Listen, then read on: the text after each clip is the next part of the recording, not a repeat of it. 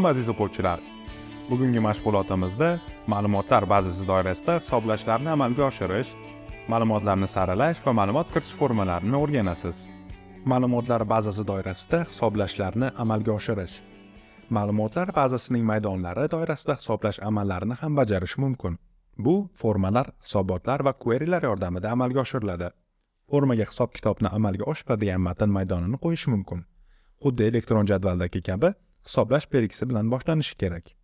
Misol, Sales Processing 2 MDB faylidagi order buyurtma formasida har bir buyurtma qatori uchun umumiy narx birlik narxini miqdoriga ko'paytirish orqali hisoblangan.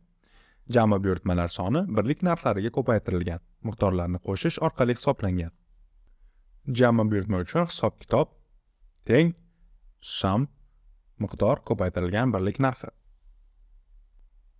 Hisobotlar ichidagi hisob-kitoblar formadagi kabi amalga oshiriladi. Query ichida hisob-kitobni uni nomlash, keyin esa hisob-kitob qanday amalga oshirilishini aniqlash orqali ta'riflash kerak.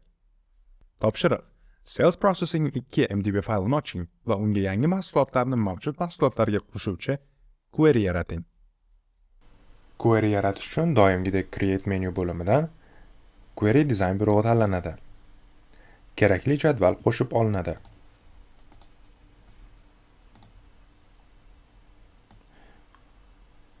Yerdan kerakli maydonlar tanlanadi.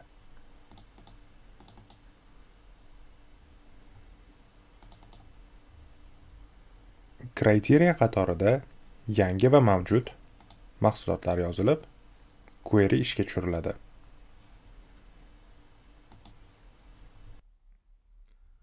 Ma'lumotlarni saralash. O'suvchi yoki kamayuvchi. Ma'lumotlarni o'sish yoki kamayish tartibida saralash mumkin. Bu jadval query yoki hisobot ichida amalga oshiriladi. Saralash raqamlar, alifbo, sanalar yoki vaqtlarga asoslanadi. Guruhlash. Saralash uchun bir nechta ma'lumot maydonidan foydalanish mumkin. Bu odatda nomlarni tartib bo'yicha saralashda ishlatiladi. Familiya birinchi saralashda tartibga keladi. Agar bir xil familiyali odamlar bo'lsa, ismlar orqali ikkinchi saralash tartibi o'rnatiladi. Misol: Ushbu ma'lumotlar ko'z rangiga qarab tartiblanadi. Keyin har bir rang ichida bo'y balandligi bo'yicha saralanadi. Ma'lumot kiritish formalari. Nomidan ko'rinib turibdiki, ma'lumot kiritish formasi ma'lumotlarni kiritish uchun ishlatiladi. Bundan tashqari undan mavjud ma'lumotlarni ko'rish uchun ham foydalanish mumkin. Ma'lumot kiritish shaklini loyihalashda ham kim foydalanishi aniqlanadi. Shuningdek, quyidagi uslublar yordamida formni samarali va tushunarli qilish kerak. Mos shrift stillari va o'lchamlari. Shriftlar oddiy bo'lishi va oson o'qilishi kerak. Hamma joyda doimiy shrift stilini qo'llash kerak. Shunda foydalanuvchi har xil shrift moslamasligi kerak. Shriftlarning rangi ochiq fonda qorong'i yoki qorong'i fonda ochiq bo'lsa, foydalanuvchi shriftlarni aniq o'qiy oladi. O'lcham o'qish uchun qulay bo'lsin va bir vaqtda zaruriy maydonlar ekranga sig'sin. Sarlavhalar va qismlar kattaroq shriftlarda yoziladi. Ma'lumotlar maydoni o'rtasidagi masofa. Har bir ma'lumot maydoni ichidagi ma'lumotlarni bir-biridan ajrata olish uchun yetarlicha bo'sh joy bo'lishi kerak. Mana bu rasmda chapdagi ma'lumotlar maydoni orasida bo'sh joy qoldirish orqali ajratilgan va har bir maydonni ajratish uchun atrofida form hosil qilingan. O'ng tomonida qaysi ma'lumotlar maydoni qaysi qismga tegishli ekanligini bilish uchun har bir ma'lumotlar maydoni o'rtasida yetarlicha gorizontal bo'sh joy mavjud.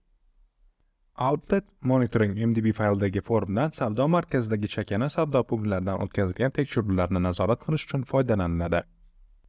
Ushbu rasmda yaxshi loyihalanmagan kiritish form obyekti ko'rsatilgan. Individual ma'lumotlar maydonining belgilararo oralig'i. Ma'lumotlar ko'rinishi uchun maydon ichidagi har bir belgi orasida yetarli bo'sh joy bo'lishi kerak. Agar oraliq juda katta bo'lsa, ma'lumotlarni o'qish qiyinlashadi. Oraliq juda kichik bo'lsa, belgilar bir-biriga ustma-ust tushib qoladi. Maydon nomlari uchun bittalik so'zlar ishlatilganda va shaklda ma'lumot kiritish maydoni bo'lsa, tegishli oraliq bo'lishi kerak. Masalan, rasta kodi va ma'lumot kiritish maydoni o'rtasidagi bo'sh joy. Bo'sh joydan foydalanish. Bo'sh joydan ma'lumotlarni ajratish, shuningdek ekran juda chalkash ko'rinmasligi uchun foydalaniladi. Yuqoridagi misolda chap va o'ng tomonlar ma'lumotlar maydoni nomlari, ma'lumotlar va tugmalar orasida bo'sh joy ishlatilgan. tugma kabi boshqaruv elementlari orasida bo'sh joy bo'lishi kursorni biroz noto'g'ri siljitib boshqa tugmani bexosdan bosib yubormaslikni oldini oladi. Navigatsiya tugmalari. Navigatsiya tugmalari foydalanuvchilarga keyingi oldingi bazadagi birinchi yoki oxirgi yozuvni tanlash orqali yozuvlarni ko'rib chiqish imkonini beradi.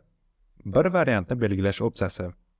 Radio button deb nomlangan va foydalanuvchiga bir nechta variantdan birini tanlashni majburiy ekanligini anglatadi.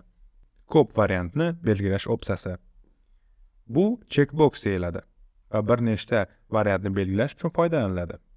Ular mantiqiy operatorlar ya'ni belgi qo'yilsa true qo'yilmagan bo'lsa false javobini oladi. Mana bu rasmda inspeksiya tekshiruvidan o'tganini belgilash maqsadida checkboxdan foydalanilgan.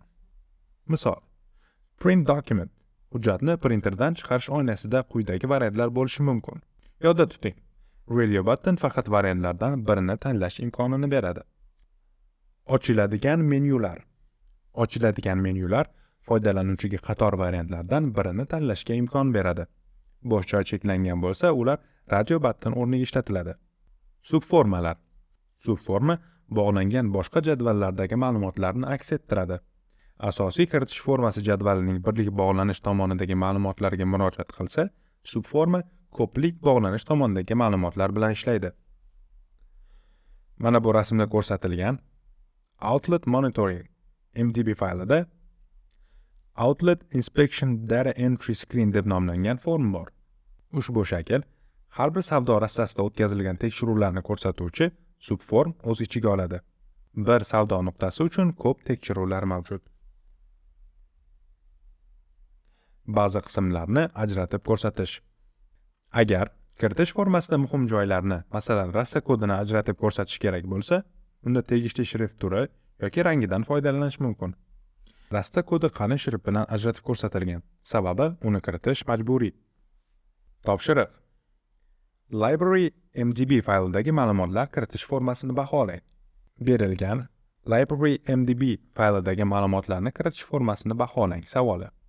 Savolga aylanadi. Xuddi shu ma'lumotlar bazasidan foydalanib o'quvchilar uchun ma'lumot kiritish formasini yarating. Xuddi shu ma'lumotlar bazasidan foydalanib subformasiz kitoblar uchun ma'lumot kiritish formasini yarating. Outlet monitoring mdb faylidan foydalanib outlet inspection data entry screen nomli ma'lumot kiritish formasini yarating. Sizga uchta jadvaldagi barcha ma'lumotlar kerak bo'ladi. Driving school mdb fayldan foydalanib har bir darsning barcha tafsilotlarini ko'rsatadigan darslar uchun ma'lumot kiritish formasini yarating. Quyidagilarga amal qiling.